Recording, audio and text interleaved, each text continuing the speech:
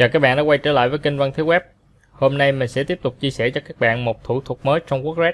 Đó là làm thế nào để chúng ta chuyển hosting từ trang này sang trang khác một cách nhanh chóng. Khi mình làm xong một cái website, ví dụ như ở trên cái domain là dầu gội minh khuê.vn, nhưng mà với bây giờ là mình muốn nhân bản cái website này lên hoặc là chúng ta muốn đổi lại cái domain qua một cái hosting mới.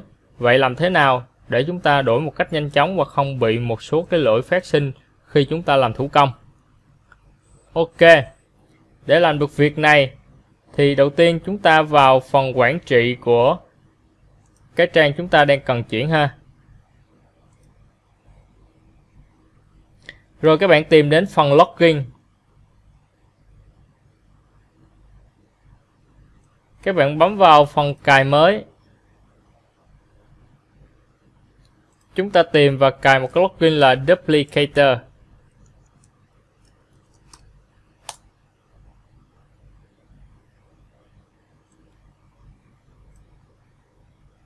Sau khi nó xuất hiện ra cái plugin có biểu tượng cái hình bánh răng, chúng ta bấm vào cài đặt và kích hoạt lên để sử dụng.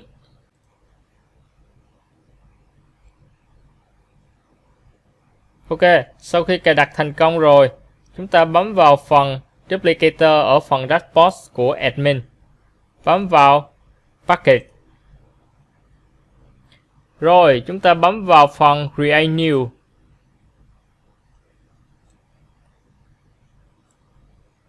Bước này chúng ta chọn cái name. Thường thì mình để mặc định ha. Nó sẽ lấy cái ngày và cái tên domain của chúng ta. Tất cả những phần này thì chúng ta cũng nên để mặc định installer thì chúng ta cũng nên để mặc định, hoặc là nếu chúng ta cần cài một cái password để bảo vệ cái file của mình nén lại ở đây, thì chúng ta cài enable lên, rồi chúng ta nhập mật khẩu vô. Nhưng với trường hợp này mình không sử dụng cái phần security này, chúng ta tắt đi. Ok, như vậy là chúng ta bấm nét nó sẽ quét và nó báo ra scan complete tức là tất cả những file của chúng ta duyệt qua. Ở đây nó sẽ báo là cái server. Setup. Ok. Và mã nguồn của mình, WordPress của mình vẫn không có vấn đề gì. Rồi, những cái size chat này chúng ta bấm vào xem thử. Nó là cảnh báo một số file của chúng ta có kích thước quá lớn thôi nha các bạn, không sao đâu. Chúng ta cứ thu gọn thu nhỏ lại rồi tiếp tục chúng ta bấm vào nút Z, continue. Rồi bấm build. Đây là quá trình nén toàn bộ cái website dầu gội minh khuê.vn này lại ha. Nó sẽ nén toàn bộ cái dữ liệu này lại. Rất là nhanh chóng. Rồi, ok. Sau khi nó chạy file nén thành công, nó sẽ xuất hiện ra một cái, một cặp file ở đây là file installer và file Archer chúng ta sẽ bấm tải về, ha. Chúng ta bấm vào one click download để tải hai file đó về. Rồi, ok. Vậy là chúng ta đã tải về cái file nén và cái file installer php đây. Làm sao chúng ta có thể chuyển qua cái hosting của cái website mới? Bây giờ, mình sẽ vào một cái hosting cần chuyển, ha ở đây mình sẽ vào một cái hosting mà mình cần chuyển qua. Mình vào phần quản trị file, quản lý file ở đây. Rồi. Ở đây mình sẽ vào cái phần demo. Các bạn vào cái domain mà chúng ta cần đưa vào nha. Ví dụ như chỉ có một domain thì xong, thông thường nó đưa vào public html còn ở đây mình đưa vào cái demo của quan thế web thì mặc định chúng ta sẽ vào đúng cái thư mục đó. Rồi, ở đây mình sẽ xóa tất cả những file cũ đi.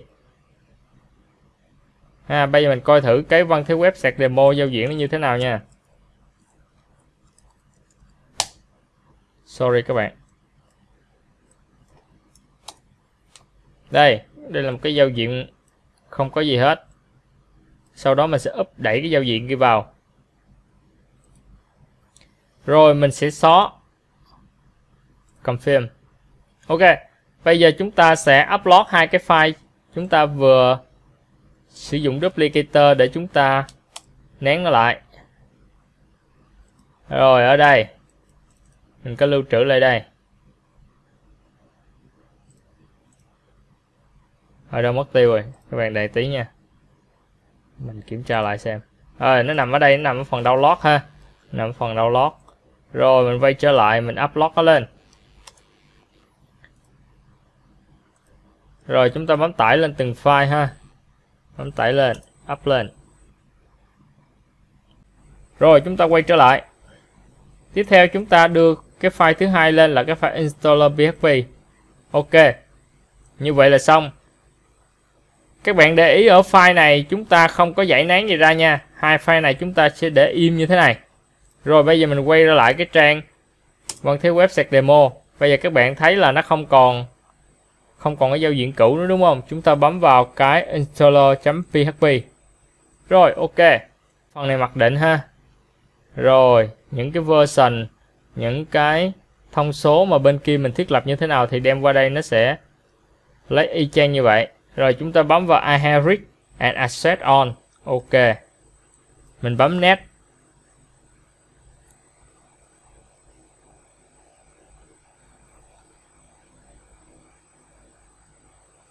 Đây là quá trình nó đang giải nán cái file của mình ra ha. Đây là cái phần cực kỳ quan trọng các bạn. Ở step 2 nè. Đây là một cái phần cực kỳ rất là quan trọng nha. Nó yêu cầu chúng ta nhập cái database vào để kết nối. Rồi, các bạn quay trở lại với cái hosting mà chúng ta vừa upload cái file lên. Mình vào cái phần database.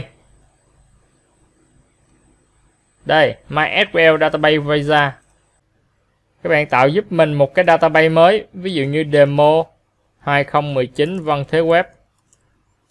Bấm next step.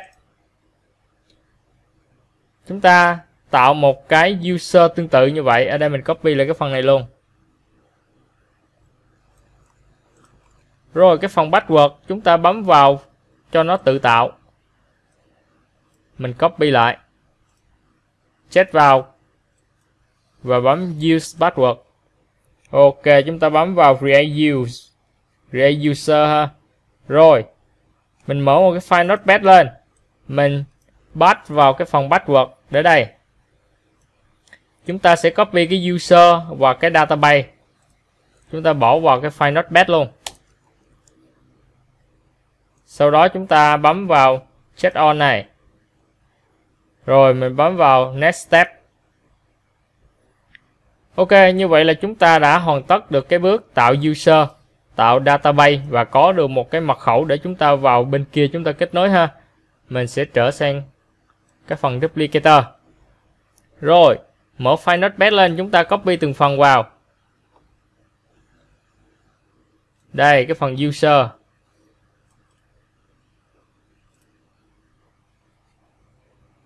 Các bạn bỏ vào phần user giúp mình nha.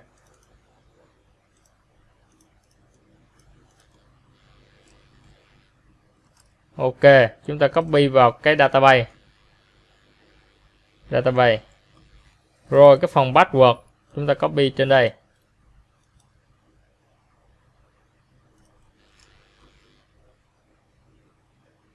Bây giờ mình test thử cái database của mình nó đã hợp lệ, kết nối thành công chưa? Nó hiển thị ra thông báo là ok nha các bạn, pass và good.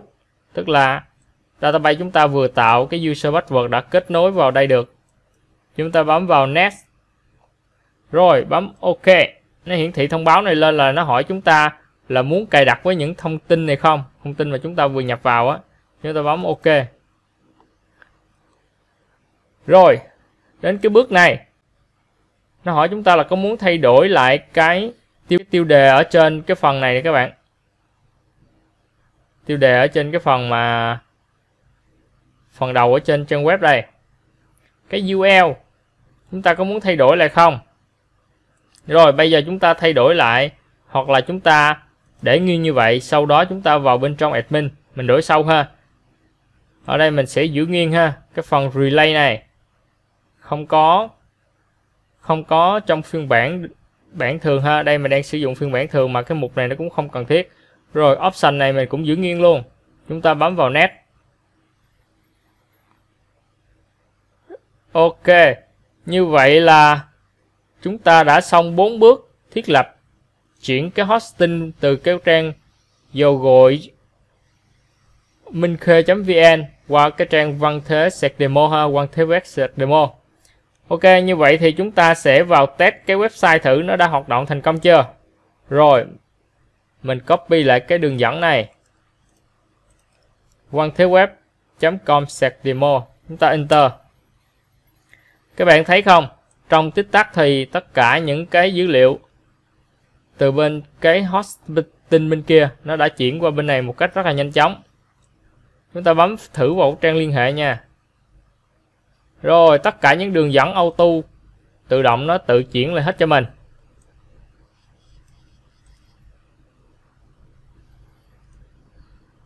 Những cái thông tin này chúng ta đăng nhập vào bên trong và mình thay đổi lại theo ý thích của mình ha